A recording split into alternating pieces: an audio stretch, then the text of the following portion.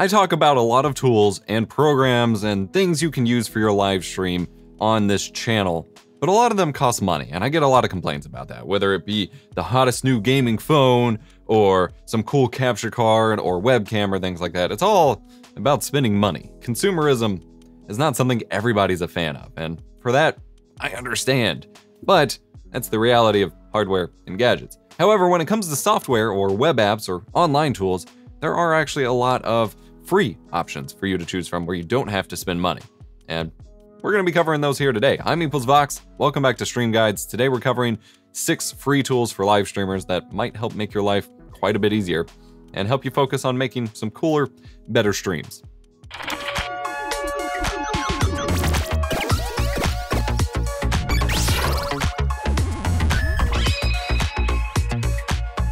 First up, we have a tool from my buddy Lobo, who I had on to interview with regards to Discord Go Live, and he's actually going to be featured twice in this video. But first up, we have his website, Streamer Links. This is a really cool platform which allows you to basically create a mini website for free that features all of your different social platforms. So you want to be able to send someone a single URL for them to be able to find you, especially given that social media profile pages only let you put in one website. You can give them your streamerlinks.com slash your username or handle, and that will have your Mixer, your YouTube, your Instagram, your Twitter, things like that, with a very nice, clean, minimalist, super basic, just ready to go here's how you find me in all the places link, which is super handy. I know a lot of people have been requesting something like this. They want a website, they want something that can just link everybody to their places without a whole lot of hassle of buying web hosting and setting up a proper website and maintaining it. This is purely just, here are all of my streamer links. It is super straightforward and I really think a lot of people could benefit from this. And for an example, here is my buddy Ice Orb's streamer links where you can view all of his different profiles, and I'm finally setting up my own because I frequently want to link people, you know, specific things, and I, it's hard to just sit there and spam a whole bunch of links when people are like, where can I find you? I don't want to be like, here, or here, or here, or here. I can just be like, right here has everything.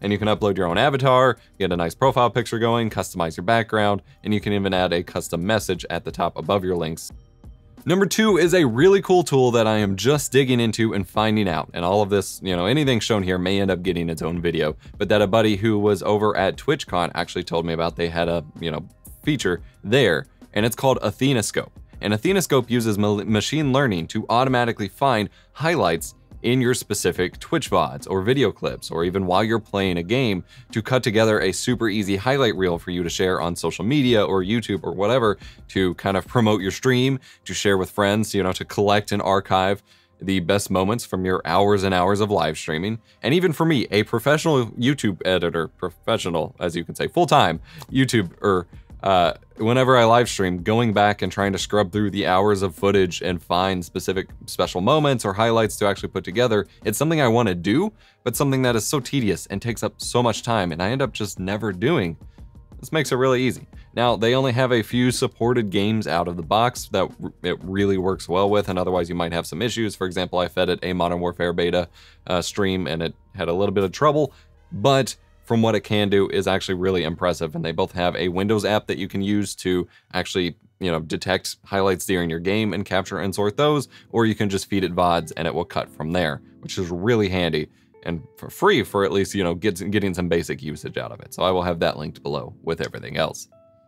Next up is a service that one of our Super Squad members over on our Discord server at eposvox.com slash Discord uh, recommends, and it is called Pretzel at pretzel.rocks, which is a music service, and they have an app that you can use as well to play music in your live stream that is royalty free or otherwise whitelisted so that you won't get DMCA'd or muted or things like that. They actually have two different categories of music, so they have all of their music, which contains hours and hours and hours of music, and then they have a YouTube safe toggle you can turn on if you plan on moving any of your content over to YouTube or using it for YouTube that limits what music you have because some of it is still registered in the Content ID system on YouTube and allows you to get some music going for your live stream that you retain ownership of your content without running into any major issues. They do have a free option. It does require some sort of chat attribution of you know, thanking them for providing the service or video descriptions on YouTube, or you can pay to not have that directly support the artists and get premium su support and things like that for about five bucks a month.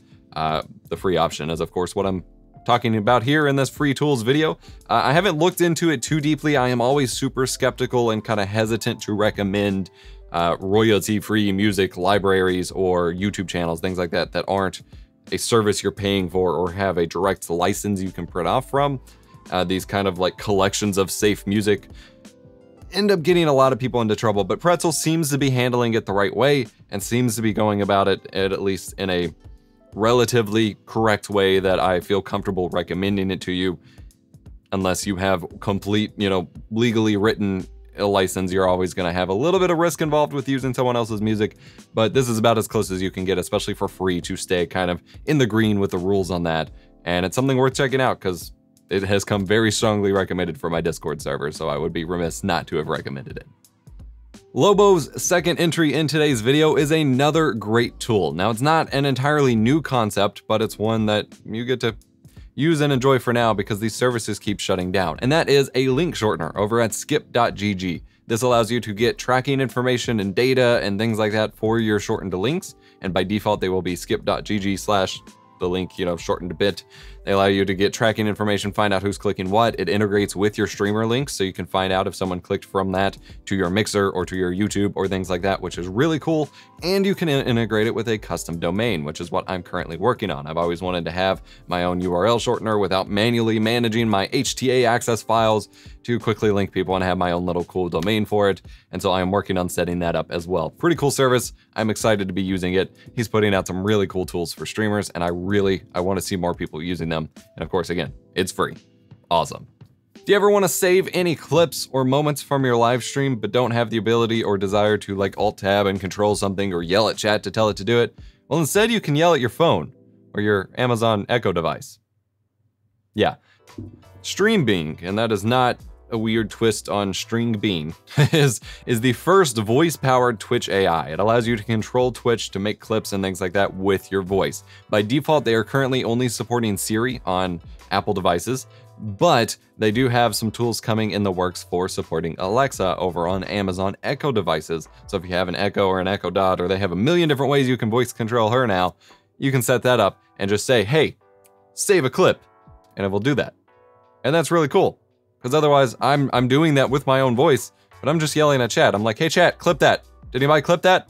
You gonna clip that? Clip it! Oh my god, get the camera, clip it! No, get the camera! Money! Money! And it'd be cool to just make sure that you have an AI clipping it for you, too. Pretty cool service. I, I will have a dedicated video on it at some point, but I'm super stoked to be checking it out, and it looks like a really neat idea. Lastly, and then I'm throwing in a bonus because I can never stick to the numbers that I list for these videos, we have NeatClip. NeatClip is a service and or a browser extension, depending on how you want to use it, to create clips, you know, like Twitch clips, where you save the last X seconds into a shareable video clip of video streams that don't natively support it like Twitch does. So that includes YouTube gaming streams, even Twitter, Instagram, Periscope live streams, Vimeo videos, YouTube videos, Mixer live streams, and that is the big one, is you can make Mixer clips for free with this. They're currently rolling out a beta of clips only for partners, but that's gonna be a little while before it gets to everybody. With Neat Clips, you can quickly make video clips to share based on pretty much anything. You can either feed it a URL of the video itself and it will it will let you control it to generate it, or you can install the browser extension and then it adds a button to the video player so you can just quickly make a clip which is really freaking handy. The only issue I've ran into is Discord doesn't seem to like the videos, so it'll like embed the video, but then not play it back. And so you'll have to click out to the link to your browser to play it back. But I'm assuming they'll get that sorted if it's not sorted already. But really freaking cool. And this is the only real way for most people to make mixer clips at the moment, which is disappointing, but cool that this service is supplementing that functionality for now. So, and as far as I can tell, it's all free. Really awesome. And then as the bonus, I keep meaning to mention, and I wanted to mention here, Touch Portal. Touch Portal is a free macro deck software for your smartphone to remote control OBS, streaming, things like that. It's basically like a free phone version of the Stream Deck, but really easy to use. They do have a pro upgrade to unlock a little bit of extra actions and things like that, but the base software is free. It's available on iOS and Android and macOS and Windows if desired, and they have a few free like icon packs and things like that. Some pretty cool stuff. And again, I'll have a dedicated video on that, but as a bonus, I wanted to go on and mention that so you can get in early and stay subscribed for me to check out some of these things in the video.